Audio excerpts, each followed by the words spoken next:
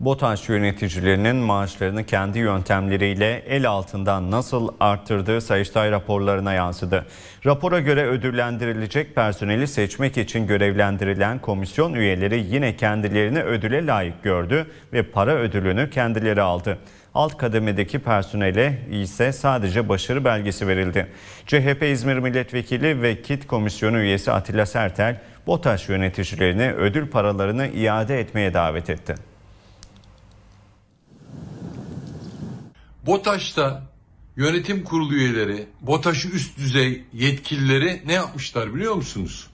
Maaşlarını arttıracak dayane bir fikir bulmuşlar. Maaşlarını arttırmanın yolunu para ödülünde bulmuşlar. BOTAŞ yöneticileri kendi kendilerini parayla ödüllendirmiş. Gerekçelendirmeyi de başarılı bulduk, ödüllendiriyoruz diye açıklamışlar. Boru hatları ile petrol taşıma anonim şirketinde ödüllendirilecek personelin seçilmesi için görevlendirilen komisyon üyelerinin kendilerini seçmesi Sayıştay raporuna etik kurallara uygun değil uyarısıyla girdi. Tamamen yöneticilerin ödüllendirildiği, çalışan kesimin ise görülmediği bir ortam yaratılmış.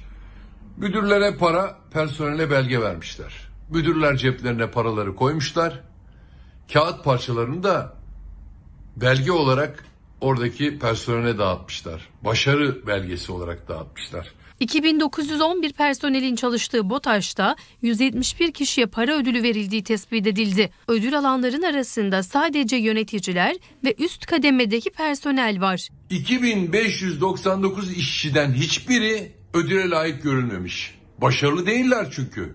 Müdürler başarılı, daire başkanları başarılı. Kişi başı ödül miktarı en düşük 2919 lira, en yüksekse 12.351 lira. 171 personel toplam 654 bin lirayla ödüllendirilirken bu miktarın 220.360 lirasını 30 müdür ve daire başkanı aldı. Maaşlarına katkı olarak 654 bin lirasını, BOTAŞ'ın 654 bin lirasını adeta iç etmişler, kendi ceplerine koymuşlar. Sayıştay raporunda komisyon üyelerinin bizzat kendilerini seçmeleri ve maddi ödül alacak şekilde başarılı sayılmalarının etik kurallara uygun olmadığı, bu işlemler neticesinde kurumda çalışma başarısının olumsuz yönde etkilendiği, personelin çoğunluğunun kendilerini başarısız hissetmelerine neden olduğu ve personel arasında huzursuzluklara yol açtığı görülmüştür değerlendirmesi yer aldı. BOTAŞ'ın parasını haksız ve hukuksuz yere cebinize koyanlar size sesleniyorum.